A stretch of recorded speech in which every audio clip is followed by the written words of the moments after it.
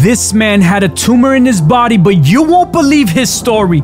After a year of walking around in pain, Spud finally decided it was time to go see a doctor.